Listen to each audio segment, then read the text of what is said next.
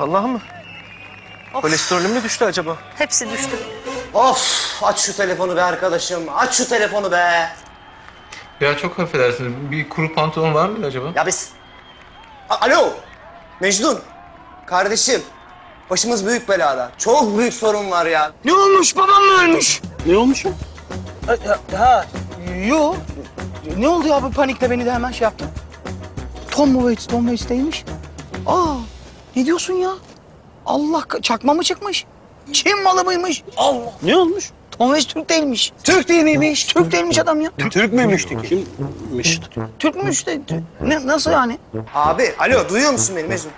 Mecnun bak millet dışarıda Tom diye geberiyor ya. Salon ağzına kadar dolu. Elimde benim flüt bile çalamayan bir adam var ya benim. Yok yok o kadarını biliyorum artık.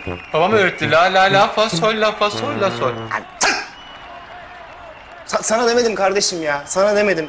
Ne olur bir gel ya. Gözünü seveyim gel. Bekliyoruz tamam mı? Hadi abicim. Hadi. Tamam tamam Kubilay rahat ol bende o iş. Tüm sorunlar gelse üst üste ne çıkar? Tüm sorunları tek başına çözer Mecnun Çınar. Kalk kalk kalk. Ya ne, oldu ya? Allah kahretmesin. Ne oldu? Baba o kadar mı kötü diyor? Vallahi aslında benim de içimden kaçmak geçti yani Mecnun. Ama şimdi hani ayaklarım çıplak, yalın ayak, camman batar diye. Yoksa aklımdan kaçmak geçmedi desem yalan olur yani kusura bakma. Estağfurullah abi aşk olsun. Hiç duymamışım. Tabii problem değil ya. Ne zaman istersen. Canını sıkma bunun için ya. Nasıl daha iyi oldu mu ayakların? İyi iyi. Biraz şişlik iniyor da. Allah kahretsin. Büyük geçmiş olsun. Vallahi duyduk geldik hemen ya. İyi misin onun dışında? İyiyim. Ya nereye gittiniz ya? Taksi!